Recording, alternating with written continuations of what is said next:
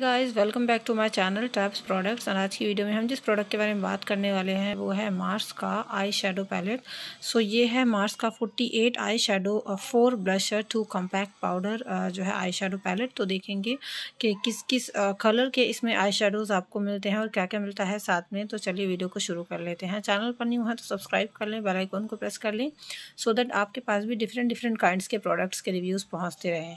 And हाँ video अच्छी लगे तो लाइक और शेयर ज़रूर कर देना.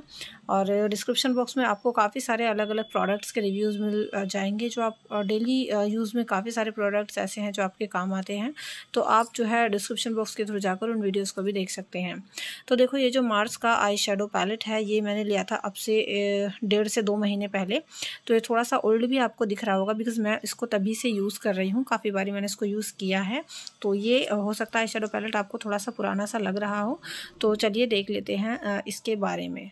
सो so सबसे पहले आप देख सकते हैं इसकी जो पैकेजिंग है, वो कुछ इस तरीके की है। इसमें 48 आई शेडो आते हैं छोटे छोटे से साइजेज़ में। इसके अलावा फोर ब्लशर भी हैं इसमें और साथ ही टू कॉम्पैक्ट पाउडर है। तो इस तरीके से आपको अलग से कॉम्पैक्ट पाउडर या फिर ब्लशर ख़रीदने की ज़रूरत नहीं रह जाती। अगर हम इसके पीछे देखें तो आप देख सकते हैं, ये रहा।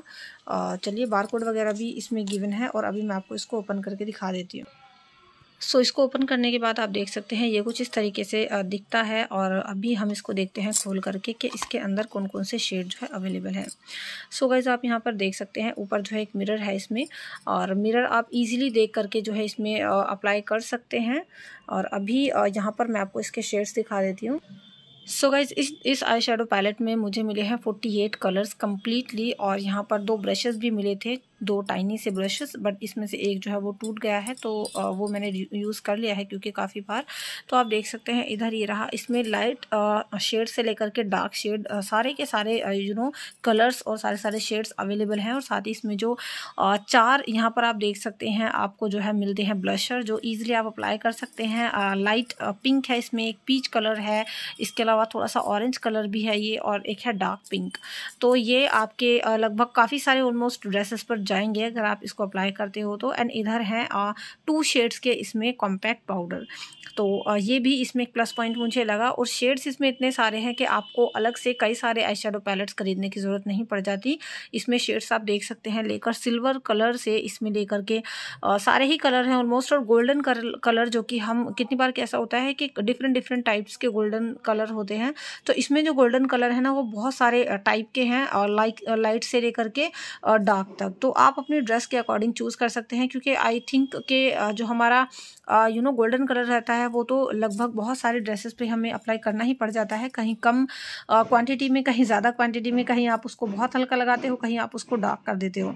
है ना? तो इसमें आपका पिंक रेड इसके अलावा पर्पल ग्रीन ऑरेंज सारे ही शेड्स आपको इसमें मिल जाते हैं। तो आपको एक ही बार थोड़ा सा इन्वेस्ट करना पड़ता है, बस छुट्टी, उसके बाद कुछ नहीं।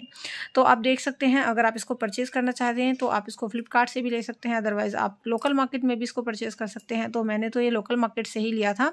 और इसकी अगर मैं प्राइस की बात करूँ गाइस तो इसका जो प्राइस है वो टू सेवेंटी नाइन रुपीज़ था इसका जो प्राइस था एक्चुअल बट इसमें मुझे थोड़ा बहुत डिस्काउंट मिल गया तो टू सेवेंटी के आसपास ये आई पैलेट मुझे पड़ा है। इसके जो शेड्स हैं वो मुझे पर्सनली बहुत अच्छे लगते हैं, क्योंकि इसको अप्लाई करने के बाद ना बहुत ही ज़्यादा डार्क या भड़कीला आपको एकदम महसूस नहीं होता। तो एकदम ना बहुत लाइट शेड रहते हैं और ना ही बहुत डार्क शेड रहते हैं, है ना? बहुत ज़्यादा स्पार्कल इसमें यूज़ नहीं किया है इन्होंने। ये मुझे इसका प्लस पॉइंट लगा है। तो अगर आप ऑफ़िस जाते हो या फिर डेली यूज़ में आप जो है अप्लाई करना चाहो या फिर अगर आप किसी भी हल्के फुल्के फ़ंक्शन के लिए यूज़ करना चाहो तो ये आपके लिए बेस्ट रहेगा। बाकी जितने मेरे वीडियोज़ होती हैं वो नॉन स्पॉन्सर्ड होती हैं। मैं अपने पर्सनल एक्सपीरियंस से ही आपके साथ जो है रिव्यूज़ शेयर करती हूँ। अभी मैं आपको इसको अप्लाई करके भी दिखा देती हूँ। सो गाइज़ आप देख सकते हैं, ये रहा मैंने एक शेड यहाँ से लिया है और ये शेड ये वाला है जो दिखने में बहुत ज़्यादा डार्क लग रहा है आपको बट इतना ज़्यादा लगाने के बाद जो है ये डार्क नहीं आया है। आप देख सकते हैं, ये रहा मैंने दो से तीन बार इसको अप्लाई किया है। तो बहुत ज़्यादा डार्क शेड इसमें आपको नहीं देखने को मिलता और बहुत ज़्यादा स्पार्कल भी इसमें आपको देखने को नहीं मिलती। एकदम अच्छा अच्छा सा आपको लगता है। इसके अलावा अगर आप कोई दूसरा शेड लाइक मैं आपको एक गोल्डन शेड भी दिखाना चाहूँगी यहाँ पर। सो so गैज़ आप देख सकते हैं ये रहा, मैंने एक गोल्डन शेड लिया है, जो कि यहाँ पर आप देख सकते हैं ये रहा, और ये जो शेड है वो ये वाला है।